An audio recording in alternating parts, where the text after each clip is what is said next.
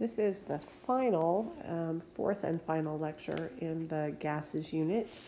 It's going to cover kinetic energy, average velocity. So you would have learned about that on the gizmo with the Maxwell-Boltzmann uh, graphs. And it's going to cover rates of effusion and rates of diffusion um, based on the average molecular speed and kinetic energy, et cetera. And it's going to cover real gases versus ideal gases. So some ways that gases might not behave the way we've said they've behaved in this whole unit. So this is kind of a, a mishmash of the end of the unit. You're going to do the same thing you've done. That would be um, pause the video here. This list is um, meant to be mostly definitions and the simple relationships, so you don't need a lot of information, um, but leave some space because we will do some examples and I'll talk about some of this as I come back to the video. So pause the video here. When you're finished setting up your framework, then you can start the video again. Now that you have the introduction, let's go ahead. So the first thing I want to talk about is root mean square speed of particles, and this can be um, referred to as the average velocity. This could be referred to as the speed of the particles, etc. But truly, when we calculate root mean square speed of the particles, we're saying that it is the um, speed of the particles, and because it's a square root relationship with temperature and molar mass, we call it the root mean square speed. So this is abbreviated U sub RMS. Often you'll just see it U.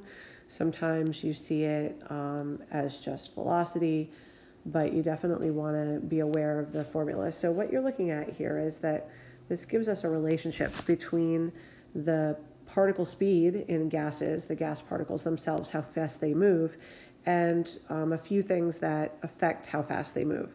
So this formula is um, two constants, the number three and r are both constants, and so they are the same for every single gas in every single condition. But then there are also two variables that can change that will affect the average speed of gas particles.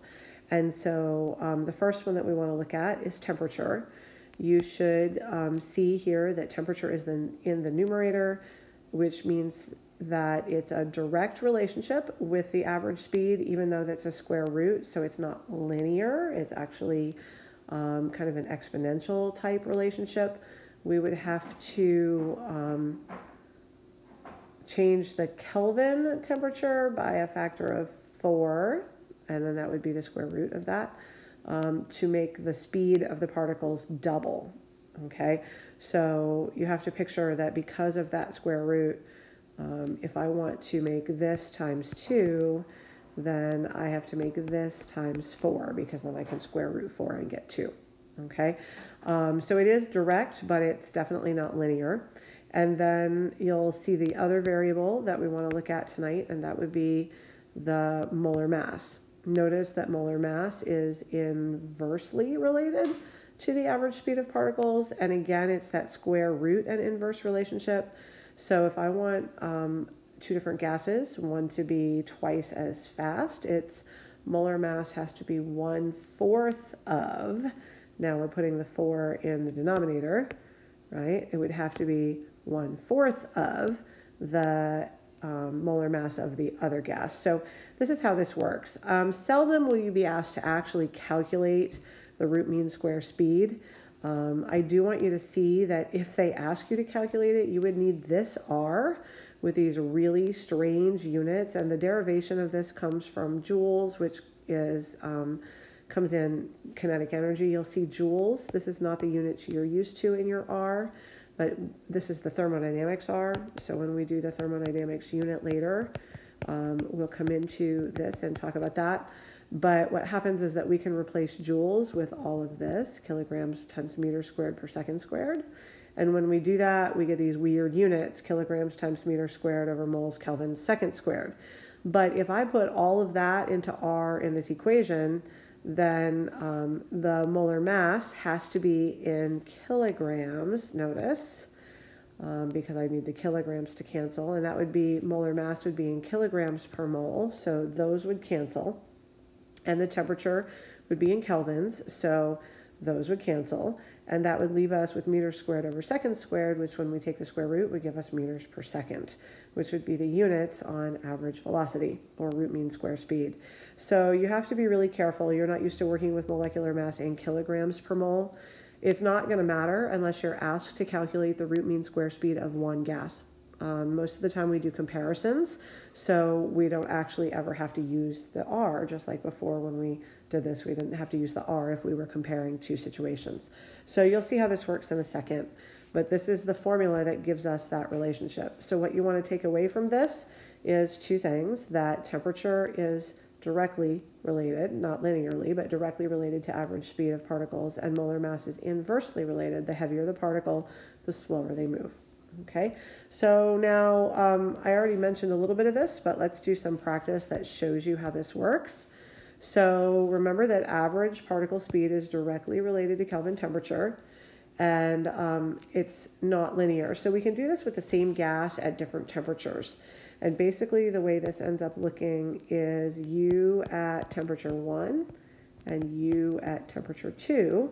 And if we wanted to derive this formula, I'll show it to you just once so you can kind of see what this means.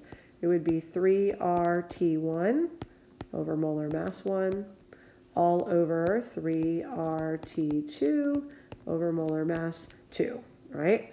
But if we have the same gas, then the molar mass is constant, and 3 and R are constants that will cal calculate separately or will cancel out as we calculate. So what this really gives us is U at T, oops, sorry, U at T1 over U at T2 equals the square root of T1 over T2. Like everything else that we do, those temperatures have to be in Kelvin because the Kelvin temperature is what's the format and what's the foundation of kinetic molecular theory. So we're talking about kinetic energy here, and this is really important. So let's see how this works. We'll do this example. I'll get rid of my derivation here so that we can I can write that example there. Gas X is maintained at 27 degrees Celsius. The first thing I'm going to do is add 273 to make that 300 Kelvin. And I want to know if I want to make the velocity four times faster than that of what it is at 27, what temperature does it have to be? So I'm going to set this up with my um, four times um, would be what I want. So my initial here, this would be the velocity at uh, 27 degrees Celsius or 273. And I want it to be four times faster. So the ratio would be four to one okay? And then I'm going to set up the square root, and the first temperature that goes, notice that these go together, numerator, numerator, and denominator, denominator. So I'm going to put my um, temperature at my slower temperature, my lower temperature that goes with the 4 to 1, the 1 part would be under here, and so that's going to be 300 Kelvin in the denominator, and I'm going to be solving for this temperature up here. So if I solve for this, it will give me the temperature at which the speed, the average velocity is four times faster than it is at 27. So when I do the math, the easiest way to do this, of course, I think mathematically would be to square this, and then you have to square this, and that will clear the square root. So what we end up with is 16 over 1 equals T over 300 Kelvin, because by squaring the square root, I got rid of the square root, but when I square the other side, I actually have to square the numbers. So now you can see that T would be 16 times 300 Kelvin. So T would be um, 4,800 Kelvin because 16 times 3 is 48. So 4,800 Kelvin. And I want the temperature in Celsius. So I have to come back and subtract 273. It seems kind of silly. So the temperature at which the gas would move, the same gas would move four times faster, is 4,527 degrees Celsius that's un, unfathomable. We probably would not ever be able to create that. So this kind of gives you an idea of how this um, relationship, because of the square root, is definitely directly proportional average velocity with temperature in kelvins, but it's not linear, right? Um, we, we definitely are going to do way more than four times the temperature. Okay, so let's look at a different example. And before we do that, I want to talk about diffusion and effusion. You should have this in your notes already that diffusion is spreading out. Basically, it's a gas that's um, the particles are going from where there's more from an area with more concentration or more gas particles to an area with less gas or less particles, fewer particles. And effusion is just like diffusion, except that it has to be leaking out of a hole in a container. So it's effusion that occurs when your helium balloon that you get at a party um, loses its helium and no longer floats. That's effusion. The helium particles are very small and can sneak through the pores in the balloon. It's effusion if you have a pinhole leak in a container and the gases will be leaving the container. So diffusion would just be in a big open space here, going from here to spreading out. And effusion would be the particles are all in here and they're going to come out through this pinhole leak. Okay, so that's the difference between them. Graham's law is a law that we can use to discuss two different gases. So we're going to worry about molar mass. Graham credit was credited with discovering this relationship between that molar mass of the gases and the average speed. Um, technically, it's Graham's law of effusion, but we can use it for diffusion also. And most of the time, you'll be calculating the ratio between the two, just like we did up here, where we're saying the temperature needs to be four times greater. You'll be finding out how many times faster the lighter gas moves. Okay, so um, remember that average particle speed is inversely related to molar mass, and we could go back and derive that again the same way I did up here before I erased it. Um, but Graham's law is it already derived. So this would be U of gas A over U of gas B. This is two different gases now. It's not the same gas at different temperatures. It's two different gases. And because it's inversely proportional, we have to put the molar mass of B, which is in the denominator of the ratio of the velocities or the effusion rate, has to go in the numerator under the square root and the molar mass of A. So we have to flip that under the square root. The heavier the gas, the slower it moves. Um, the lighter the gas, the faster it moves. And so we have to flip that relationship. Um, so now let's just kind of see what is the ratio of effusion rates for the lightest gas and the heaviest known gas, which is uranium hexafluoride or UF6. So um, when we look at this, I really like to put the faster gas on top in the ratio of the rates. Um, so I want to do the um, rate of effusion, we can call it R for hydrogen over the rate of effusion for UF6 like this, so that what I find will be some numerical relationship where hydrogen is so many times faster than UF6 is. Um, it's kind of confusing if you end up with a decimal because then what you're really saying is that your light, your heavier one is that fraction of the speed and it's just kind of confusing. So I like to put the faster one or the lighter one on top in the ratio of the rates, which means that it's going to have to go on the bottom inside the square root. Okay, so this will be the molar mass of UF6 over the molar mass of H2. And when I go ahead to substitute in, I'm just going to use the periodic table. And UF6, I used a molar mass of 352 grams per mole. And for hydrogen, I used 2.02 grams per mole. And I do the division and take the square root. And I discover that the answer to that is 13.2, which means that really hydrogen is 13.2 to 1 as fast or faster than UF6. So for every um, increment of time, hydrogen will travel 13.2 times farther, um, in the same increment of time, or that's kind of the way that you can look at that. Okay, so that's how you solve those. Um, and I want to do one more with time so that you can see what's happening with that. Here's the weird thing, is the faster you are, the less time it takes. Okay, so time is um, directly related to molar mass because it's inversely related to average velocity. I should have reversed those two bullets. So picture that if you are traveling down the highway um, at 70 miles an hour, I hope you're not, but if you are at 70 miles an hour, or you're walking in your neighborhood at um, maybe three miles an hour, then it's going to take you a lot less time on the highway to go one mile, right? So, um, and a lot more time if you have a slower velocity. So, the way that I always look at this is that um, time, like the time of two different, um, the same gas or two different gases, time at time one and time for time two, the two different gases, is going to be inversely proportional to the average speed, or the root mean square speed of those, which is also inversely proportional to the molar masses. So the molar mass of 1 over the molar mass of 2, because these here would be inverse, right? So because time is inverse and average speed is inverse with molar mass, what we end up with is this relationship where time and molar mass are directly related, but not linear because we have that square root again, okay?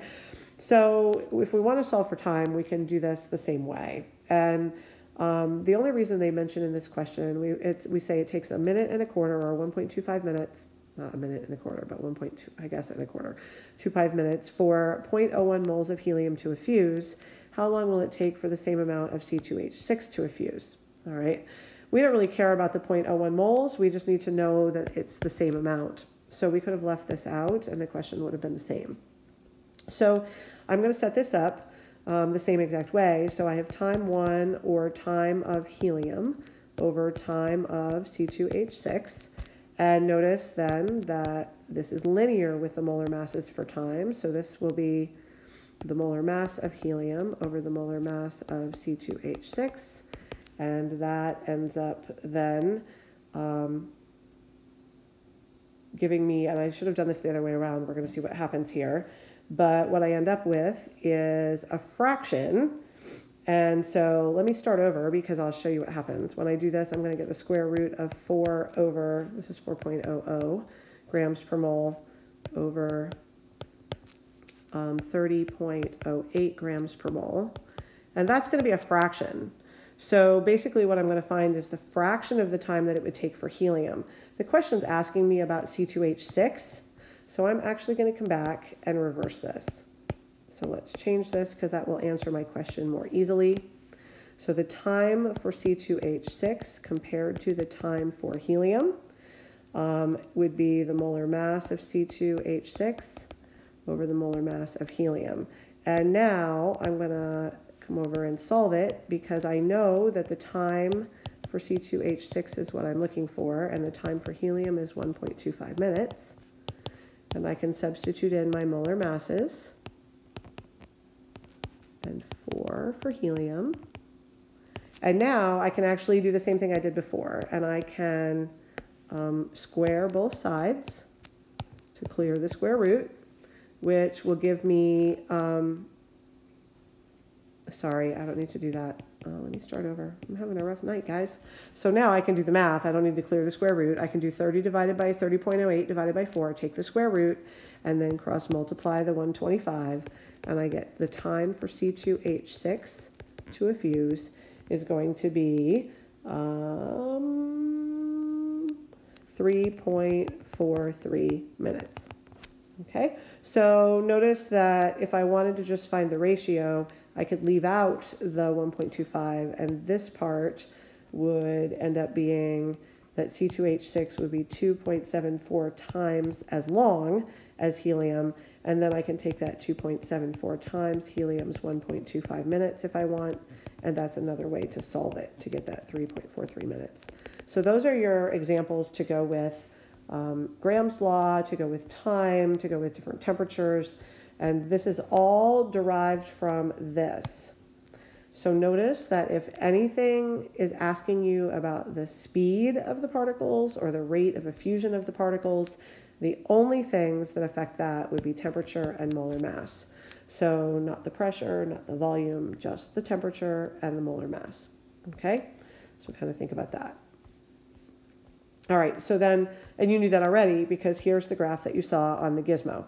All right, so you saw the idea of the Maxwell-Boltzmann distribution and that um, the number of particles that have this average speed is this curve that flattens so that more of the particles um, here have a higher speed than they did here, than they did here. Okay, so we can see how that relationship works. And so don't, oops, sorry. So don't forget that you'll be asked to interpret that. All right. So some quick reminders. One last bit of information here tonight, and that would be that um, reminders about kinetic molecular theory. Um, let's come back to the whole unit now and say that we know that yes, gases are mostly empty space, and that is true. No one's going to argue about that. Even a gas that's been compressed is still a lot of empty space. Um, we're going to also say that the particles are in constant random straight line motion, and that is also true. The speed of that is affected by temperature and by molar mass, but they are definitely in constant random straight line motion. Um, there's no net loss or gain of energy during collisions, and this is something that um, in ideal gases, this is true. But in real gases, we have um, some things that change that a little bit. And then we talk about kinetic energy being directly proportional to Kelvin temperature. Okay, so this is true. So we want to come in and talk about how we have some comparisons. The biggest deal that happens here is that um, even though the gases are mostly empty space, we also say in ideal gases that the particle volume equals zero. Okay, that the gas's volume is only made of the empty space. However, that part is not true for real gases. So this is only in ideal gases that we can say that. Okay, just like only in ideal gases, the collisions um, don't gain or lose energy. So, um, so we need to talk about real versus ideal. And there are two things about real gases that affect this. The first would be that real gases have attractive forces. Um, we haven't learned IMFs this year yet. You would have learned them in your first year course a little bit, but intermolecular forces are the attractions that pull pull molecules together, and they're the reason that water is so attracted that it creates a meniscus. Um, it's attracted to the walls of the graduated cylinder as well as to itself. So those attractive forces um, in gases, we ignore them in ideal gases, but real gases actually have them. And because of attractive forces, when the particles are flying around in the container and they approach each other, they may temporarily stick together and then keep going on their merry way, right? But that little temporary attract to each other slowdown means that they're going to hit the walls of the container less, okay? So um, what happens is that real gases, because they hit the walls of the container less, their real pressure is going to be lower than your Pivnert pressure that you calculated. Okay, not significantly always, but somewhat lower. And we also have to look at the fact that gas particles do have volume. We can't compress a gas to zero volume. Once we get down so small, the particles themselves will get in the way and the volume can only be compressed so far. So if we were really looking at the volume of the gas, we should have the volume of the particles included, but we don't in real gases. So the particle volume causes the real volume to be higher than the calculated volume that we had. Okay, so you need to remember this that attractive forces, intermolecular forces, lower the pressure of a real gas compared to an ideal, and particle volumes raise the volume over ideal. Okay. Um, and we won't really don't really care about this in most cases because mostly our gases are at temperatures and pressures where they're moving so fast that the attractive forces aren't a big deal and the volumes are large enough that there's still lots of space between particles. But the things that will make a gas behave less like an ideal gas and more like a real gas are the things that would make it be a liquid. Okay, so you have two options for turning a gas into a liquid. Either you can squeeze it, squeeze it, squeeze it, squeeze it into a really small volume, which would really increase the pressure by a lot, okay? Or you can cool down the temperature. So you can drop the temperature until it condenses. All right. So, so what happens is that if you've done this and you have a really high pressure situation or a really low temperature situation, then we have to worry about the fact that that gas may not be behaving ideally. All right. So you want to remember that gases only behave ideally at low temperatures and high pressures, or at high pressure and low temperature, they will be more real and less ideal. Okay, so ideal would be high temperature to keep the particles moving fast and low pressure because that means there's lots of empty space between them. Okay, real would be high pressure and low temperature. So keep those conditions in mind. So I'm not, I don't want to spend long on this because you will never have to calculate it, but I want you to see that we could actually, if we wanted to, and van der Waal is the guy who dealt with intermolecular forces. Van der Waal came up with a mathematical equation. So um, let's compare one more time. Ideal gases, we say there are no intermolecular attractions. And in real gases, they have intermolecular attractions and they lower the pressure, right? So if we're going to compensate for that in calculation, we would have to add um, situation back in to the pressure to account for the fact that the pressure is too low. All right. So in real gas situations, we do that. A is a constant. You're not worried about that value because you're not going to calculate it. Okay. But notice that um, the more gas I have, then the more attracted they would be to each other and the more I would have to add back into the pressure. But the bigger the volume is, then um, the less I would have to add back in. Because, of course, the bigger the volume is, the more space there is between the particles, and that means there's not as much attraction. Okay, so I just want you to kind of look at this formula as a way to think about the theory. Um, we can also do this with particle volume. Remember that ideal gases, we say their particle volume is zero, and the only volume comes from the space between the particles. But real gases, the particle volume actually makes the volume of the gas bigger than it should be. So this equation subtracts from the volume to adjust it. Okay, so if we have um, a real gas, the number of moles would make a difference because, of course, if I have a whole lot of particles and the particle volume matters, then it's going to make my volume a whole lot bigger, right? So the moles matter, but this is another constant. So these are both constants and you don't have to worry about them, but you should notice that we're going to, based on how many moles of gas there are, if it's in real conditions instead of ideal conditions, we may have to add back into the pressure and we may have to subtract away from the volume in order to be able to use PivNert. You will never do the calculations unless you go on to a higher level chemistry course that deals with gases, but I need you to see the theory here so that you can understand the differences. Okay, so quick reminder remember what causes gases to behave less ideally.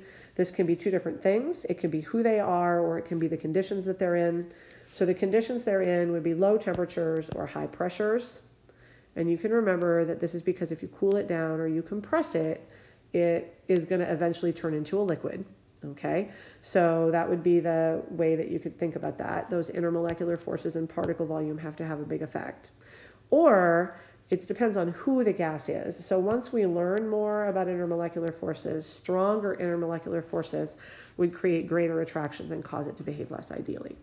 Right, so that finishes off the new theory in this unit. This theory is a little bit confusing, um, maybe in both cases. So you may need to spend a little bit of time thinking your way through these notes, kind of reviewing these notes. We'll work with them together in class, but definitely um, know that this is the end. So now our task is to be able to put it all together and think our way through it, to be able to use it in the lab. So we'll do a Graham's Law lab that shows you um, how that works and um, to be able to see what's happening. So thanks for your time.